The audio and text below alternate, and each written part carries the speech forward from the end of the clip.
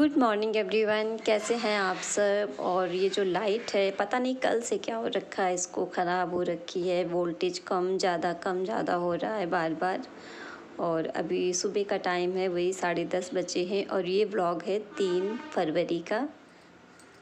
Good morning कैसे हैं आप सब? और आप सबको एक बार फिर से स्वागत है मेरे ब्लॉग में। तो कपड़े टंगे पीछे, दुपट्टा, तौलिया, आजकल ऐसे ही सुखाए जाते हैं। फिर से मौसम ख़राब हो रखा है बादल बादल से हवा चल रही है तेज़। तो ये कपड़े तो ऐसे ही पड़े रहते हैं, हर घर में होते हैं। दरवाज़ों पे मिलेंगे, खिड़कियों पे मिलेंगे। और ज़्यादातर तो दरवाज़ों पे होते मेरे यहाँ तो दरवाजे पे ही तौलिया डाल दिया जाता है या फिर चेयर पे। आगे में जो चेयर रखी है तो उन पर डाल देते हैं। और ये ऊपर एक डिब्बा रखा है तो इन चीज़ों को लेकर मैं कुछ बताने वाली थी। इस तरीके के दो तीन डिब्बे और रखे हैं। कहते हैं कि घर में खाली डिब्बे नहीं रखने चाहिए, वरना जो हमारा राहु काल होता है, मैं वास्तु में थोड़ा बहुत बिलीव करती हूँ। तो मैं बता थी कि जो हमारा राहु काल होता है, वो थोड़ा सा ख़राब होता है। इस तरीके के खाली डिब्बे घर में ना रखें। तो ये जूते चप्पल का ये आया था, शायद इसमें आर्यन के जूते थे या फिर जानवी के, मुझे याद नहीं है। आर्यन के थे शायद। नहीं सॉरी ये नहीं है, मैंने हटा दिया। आप लोगों ने मेरे ब्लॉग में देखा होगा। तो ये कल इंडक्शन वाला रखा है। मुझे भी ध्यान नहीं था, क्योंकि इसके ऊपर एक रखा था सूज़ का, जो कि मैंने हटा दिया था इसी वजह से कि खाली डिब्बे घर में नहीं रखने चाहिए, वरना हमारा राहु काल बहुत ज़्यादा ख़राब होता है, बहुत ज़्यादा प्रभावित होता है। और ये कल इंडक्शन का है तो फिर इन्होंने रख दिया शायद। इंडक्शन खाली किया होगा तो इसको भी मैं हटा दूँगी। इसको मतलब घर में एक एरिया बना लो कबाड़ खाने का, उसमें रखो। जितना भी घर का जो हम नहीं यूज़ करते हैं सामान, उसको घर में इधर उधर मत फैलाओ। मैं ऐसा ही करती हूँ, जैसे मेरी ड्रेसिंग टेबल पे आप भी, आप सामान देख रहे होंगे तो इनमें से जो भी बॉटल क्रीम्स की या फिर किसी भी चीज़ की ख़त्म हो जाती है, तेल की क्रीम की तो मैं हटा देती हूँ, उसको नहीं कि यहीं पर रखी रहे, नहीं रखनी चाहिए ऐसी चीज़ें। जैसे कहते नहीं पूरा घर कबाड़ खाना बना के रखा है तो कबाड़ खाना ही हो जाता है। मतलब जो ज़रूरत की नहीं है, उसे करके एक साइड में रखो, एक एरिया ऐसा ढूंढ लो कोई भी कोना जहाँ पे हम ये सारा सामान स्टोर कर सकें, बोरियों में भर के या फिर किसी भी तरीके से। और ये सारी चीज़ें काम भी देती हैं। कबाड़ की सारी चीज़ें फेंकनी भी नहीं चाहिए मैं नहीं फेंकती हूँ, जैसे डिब्बे वगैरह हैं। तो कभी कभार काम भी देती हैं, कुछ ना कुछ रखने के, डेकोरेशन के, जो हम बनाते हैं डीआईवाई मैं तो बना लेती हूँ खाली डिब्बों का, जो कि हमारे जो है ना अलमारी में भी काम देते हैं। मैं अलमारी में रखती हूँ, जैसे बच्चों की सॉक्स हो गए अंडर गारमेंट से छोटे छोटे कपड़े, उनके लिए मैं बना के रखती हूँ। तो बच्चों की अलमारी में दो डिब्बे मैंने रखे हैं, वो टूट रहे हैं, फिर अभी नए बनाऊँगी दो तीन डिब्बे। छोटे कपड़े क्या है मुश्किल हो जाती है, बच्चे ढूंढ नहीं पाते हैं अच्छे से। तो मैं बता रही थी क्योंकि अभी दो तीन डिब्बे बाहर और रखे हैं, मैं दिखा दूँ कहाँ पे रखे हैं इस तरफ़ ये रखे हैं इस साइड। ये रखे हैं इस साइड। ये इस तरीके से तो इनको भी मुझे हटाना है। ये सूज के भी डिब्बे हैं। ये ये दो रखे हैं अलग। तो इनको मुझे हटा के रखना है। ये करीब एक डेढ़ महीने हो गए यहीं पे रखे हैं। मुझे ध्यान भी नहीं था, फ्रिज की साइड में पड़ गए, दिखे भी नहीं। झाड़ू वाड़ू लगाती थी तो फिर सोचती थी मैं उठा के इनको रखूँगी, लेकिन फिर मैं भूल जाती थी। लेकिन अब मैं इनको हटा दूँगी। कहते हैं, सही नहीं होता है, हमारा राहु बहुत ज़्यादा प्रभावित होता है, इनसे ख़राब होता है। मैं थोड़ा बहुत वास्तु को मानती हूँ। थोड़ा बहुत क्या मुझे वास्तु में ज़्यादा बिलीव करती हूँ मैं। अगर आप लोग करते हैं तो बताइएगा कमेंट करके। और नहाने के बाद ठंड लग रही है स्वेटर पहन। लो ग्यारह बज रहे हैं वही। ग्यारह से कुछ कम हो या फिर ज़्यादा हो, ग्यारह के आसपास है टाइम मेरे यहाँ पे सर से ओढ़ा जाता है घर में, पापा जी हैं तो फिर ओढ़ के रखती हूँ। इस वजह से मैंने ऐसे कर ली तो ये ये ज़्यादा सही है, पीछे तो नहीं दिख रहा। हाँ ठीक है। तो स्वेटर भी मैंने पहन लिया है और मैं एक बात और शेयर करने वाली थी, वास्तु के हिसाब से हमारे घर में जो कपड़े होते हैं, सबके घर में होते हैं, कपड़े ढेर सारे होते हैं। लेकिन क्या है, अगर कपड़े इधर उधर पड़े हैं तो भी हमारा राहु ख़राब होता है। मतलब कपड़े हमारे कहीं भी रखे हों, लेकिन वो अच्छे से फोल्ड किए रखे हों घरी किए रखे हों, और दूसरी बात, फटे हुए ना हो। जैसे कभी कभार हमारे कपड़े फट जाते हैं और हम लापरवाही करते हैं कि नहीं, आज सिल लेंगे, कल सिल लेंगे, और वो या तो हम फटे पहन भी लेते हैं या फिर हम रखे रहते हैं।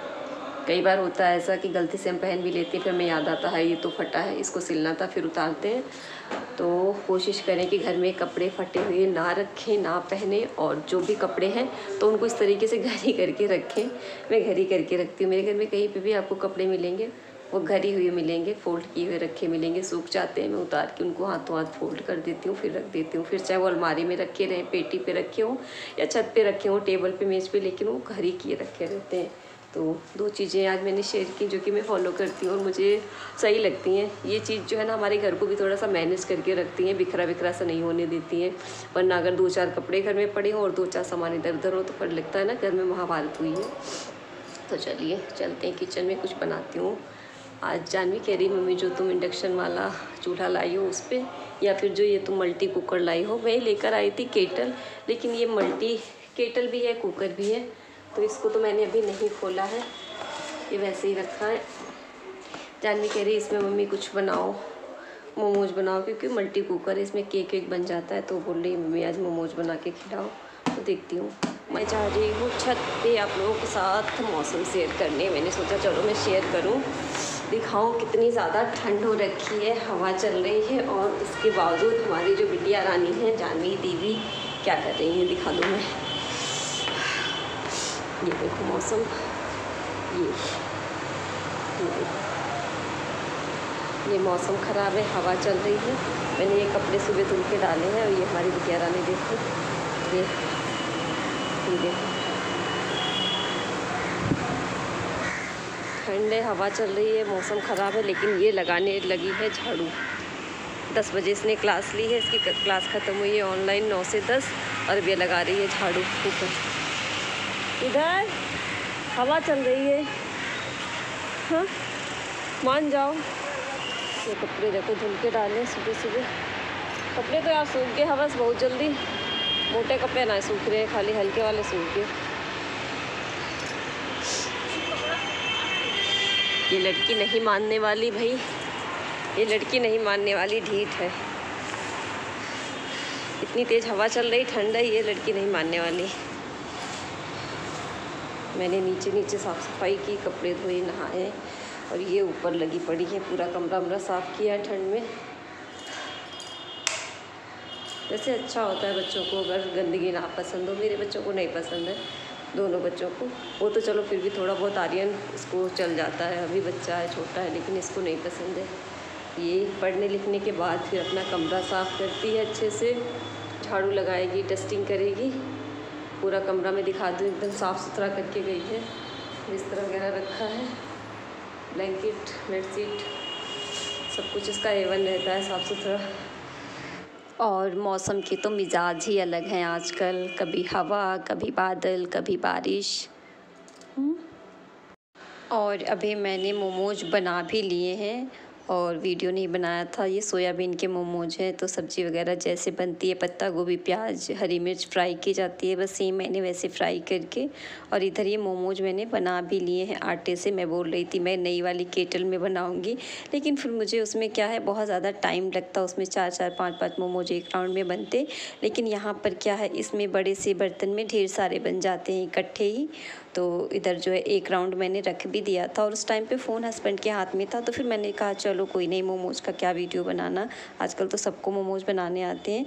लेकिन मैंने सोयाबीन के पहली बार बनाए थे, बस सोया चंक्स को ऐसे ही गर्म पानी में डिप करके, निचोड़ के और बस मैंने सब्ज़ी के साथ उनको अच्छे से मतलब क्रश किया था, फिर सब्ज़ी में डाल दिया था और ये सोयाबीन के मोमोज बड़े ही अच्छे बने देखने में और आटे से बनाए हैं। मैंने मैदे के नहीं बने थे।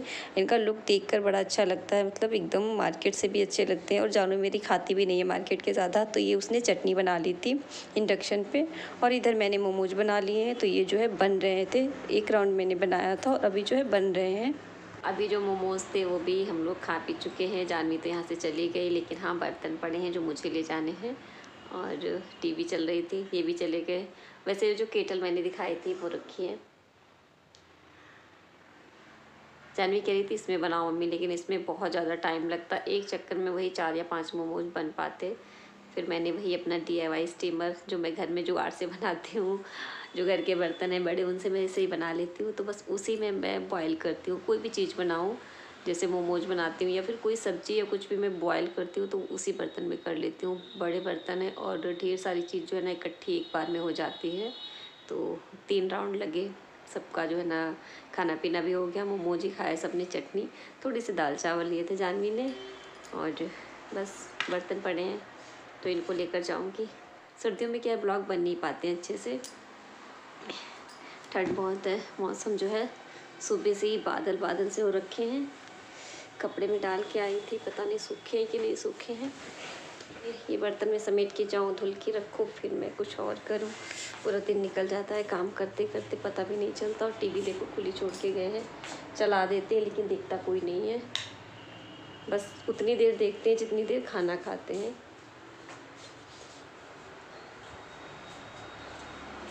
गए हैं, साढ़े पाँच, उससे थोड़ा सा ज़्यादा है और बारिश देखो कितनी तेज़ हो रही है, ये देखो। तो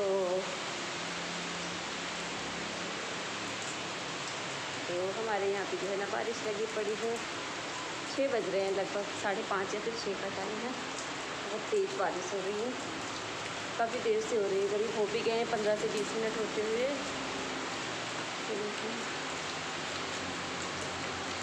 चलिए फिर मिलते हैं कल के ब्लॉग में न्यू ब्लॉग में। तब तक के लिए बाय बाय मैं जा रही हूँ, खाना बनाऊँगी जाकर। शाम हो चुकी है और जानवी जो है सो रही है आज। सामने बंद है। मैं चाय बनाई थी मैंने, खाई थी, जगाने तो सो रही है। तो चलिए फिर मिलते हैं न्यू वीडियो